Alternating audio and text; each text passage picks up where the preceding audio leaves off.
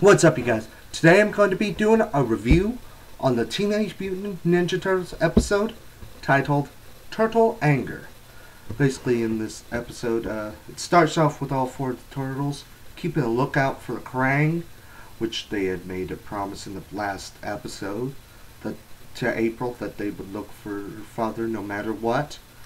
And um, you know, while they're being loud, a guy is able to record them fighting the Kraang.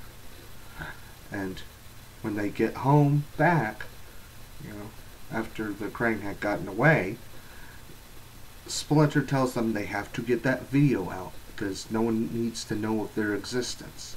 So they go back and try to get get the video back from the guy. But then the Kraang come back again. And, you know, during the fight, they take the guy and the video and get away.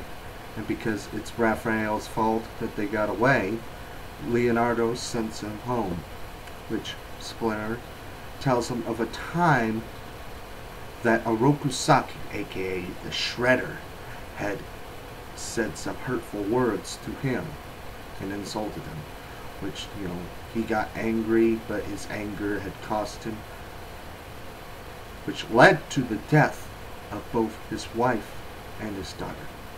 That's very sad. Very sad. You know, and then the, we go back to the other three.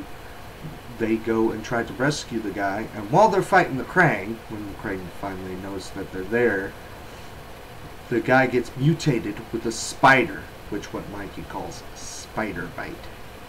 Mikey's coming up with some strange names for these mutants, in my opinion. But I think all of you think uh, the same, probably. Most likely. Possibly.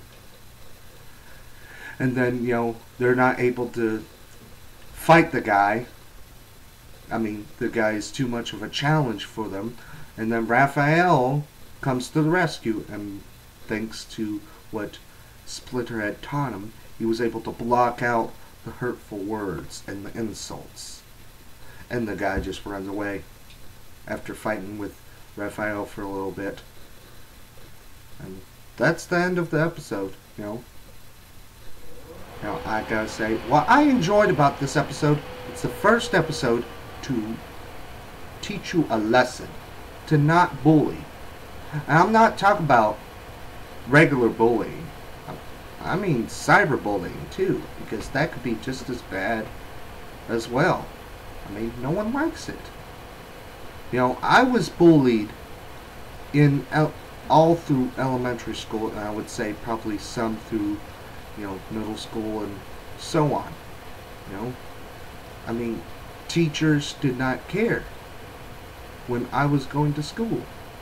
But I just, you know, I gotta say, if someone's bullying you, tell an adult, tell the teacher. Don't let it get to you. And don't bully back, because that makes you no better than them. Um, tomorrow, I'll be doing a review, my second review for Horrorama, which is for The Walking Dead Season 1. And go to BKBN.net and support your nerve in a big way. I'm Jimmy. Until next time, bye.